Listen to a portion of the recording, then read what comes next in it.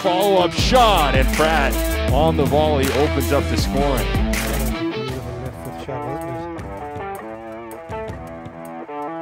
Lifts that into the path of an on-rushing Eagle. Seavey comes off of her line, the scramble in front of goal, and finally cleared away.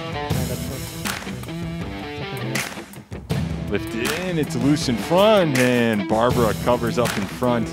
Jogging over is Maddie Hugh. McAlevey gets it back. Takes a shot at Seavey's net. It bounces in front for McLaughlin, and Seavey. Yep, couldn't agree with you more. She's been stout loose. Misplay there by Barbara and swept home by North Attleboro. That's Siobhan Ware putting this game out of reach from the Eagles.